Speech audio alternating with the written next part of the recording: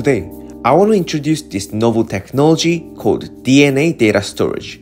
Before, did you know that data storage centers significantly impact climate change? Data storage centers use 1% of global electricity and account for about 2% of total greenhouse gas emissions. And here, using this novel technology called DNA storage, we can figure out this problem. DNA storage is a way to store data in DNA using A, T, G, and C nucleotide sequences. And the amazing part of this technology is that it can store up to 100 million movies in a gram of DNA due to its high density. Also, since they can store data with minimum energy for a long time, it can help slow down the climate change.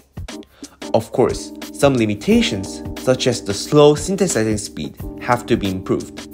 However, it is definitely an up and coming technology that we will use to store data in the future.